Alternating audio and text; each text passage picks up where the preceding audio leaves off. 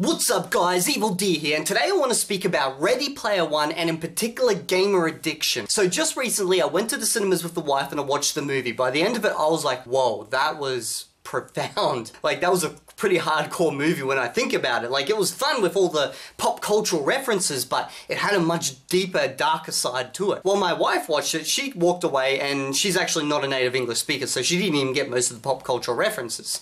But she was like, I don't really understand what it's getting at. Like, what, what's kind of happening? They're trying to win a game. But for me, it was really profound. Now, the reasons being is because back about 10 years ago, I was a hardcore online World of Warcraft gamer. There was a period of about three years where my life was just linked to this game intimately. Everything I did happened in this game from the moment I finished work to the moment I fell asleep, from the moment I woke up to the moment I started work and even during my lunch breaks. It was a hardcore gaming experience. I actually think about World of Warcraft as closer to like cigarettes or smoking or something like that because it's so addictive. Now you're probably thinking why? Like if you've seen like pictures of it but you've never played it, it doesn't look that great, the graphics, you know. But World of Warcraft is not just a game, it's a social experience. You build up friendships and entire relationships through this game. And what I saw in Ready Player One was World of Warcraft taken to the extreme and to the dangerous. Now, the crazy thing is, it's going to happen. World of Warcraft rakes in millions of dollars a month through this online gaming experience slash social experience where people basically log in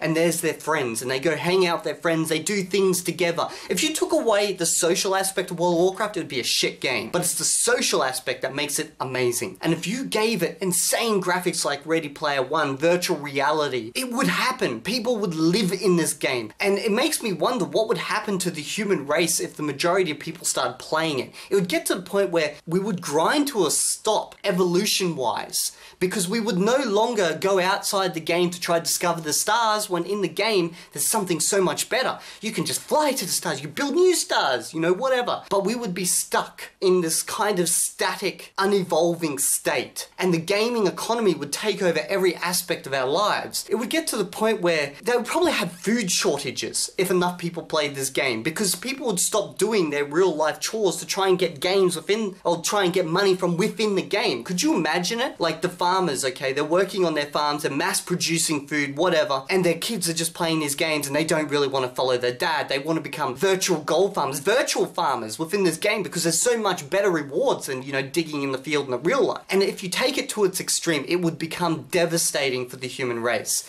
So when I watched that film, it was a fun film by the end of it, but I also saw how they were getting at the aspects that, you know, we saw the mother standing on the couch. She was playing the game while her kid was like, Mum, Mum, you know, the food. And everyone just had a quick laugh at that type of thing.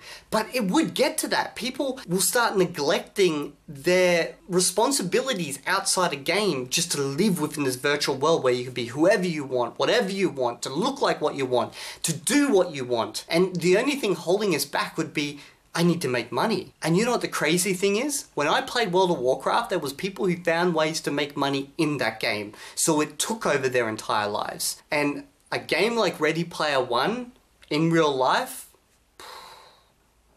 that shit would be devastating.